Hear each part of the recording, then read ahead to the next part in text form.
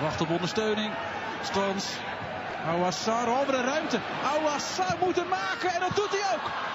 Mooi doelpunt van Ouassar. Goed uitgespeeld door Excelsior. En onverdiend kan je deze voorsprong echt niet noemen. Cambuur heeft weliswaar de bal, maar Excelsior krijgt de hele wedstrijd al de beste kans. Hij gaat misschien wel meteen wisselen. Het balverlies op de helft van Excelsior. En dan komt Excelsior er snel uit. En wordt er totaal niet meegelopen met Awassar. Die is dan vrij. Stans met de assist.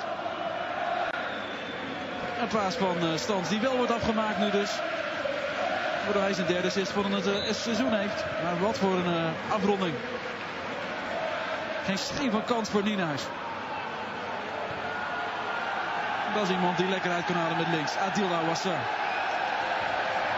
Zijn assist is ook al uh, beter dan hij in jaren heeft gedaan. Drie assists.